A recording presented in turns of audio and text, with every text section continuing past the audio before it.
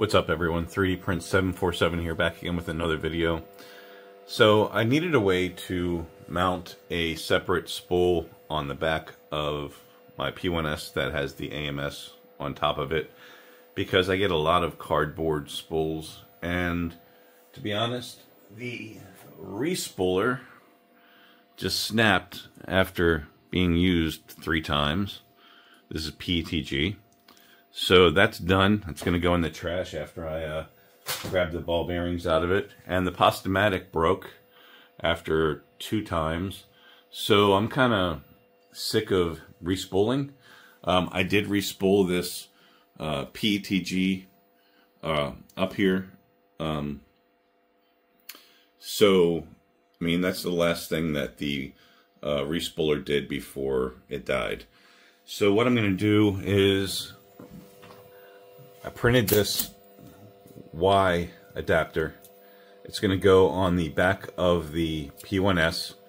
And what's going to happen is we will have one PTFE tube coming in for, for the uh, AMS and one coming in for just the regular spool on the back. So um, I'll get this uh, connected. I'll get it all, um, the PTFE, the um, I don't know what they're called.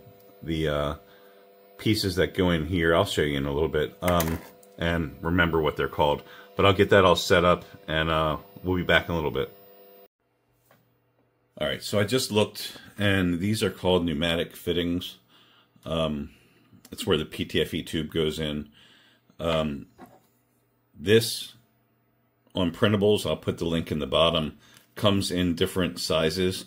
Um, it also comes with this fitting uh, print that you can determine which one you have. So here, these are 9.6 millimeter, screw in perfectly.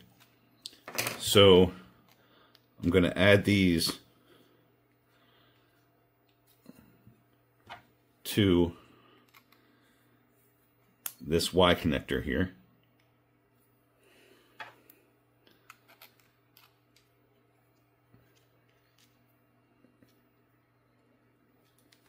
and we will attach the Y connector and insert PTFE tubing into here.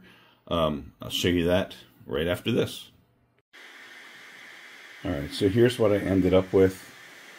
I've got the cardboard filament spool on the back.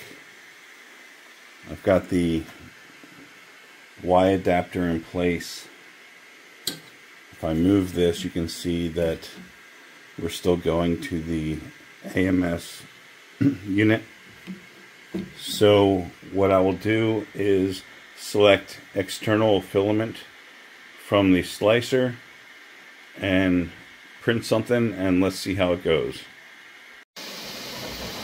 So it looks like things are going good from the individual spool back here. So I'll report back once this print is finished. And this is the end result, and it turned out great. So I highly recommend if you have an AMS to add that Y splitter so you can print with cardboard spools or plastic spools. Thanks for watching guys. Please hit that like button. We'll catch you on the next one.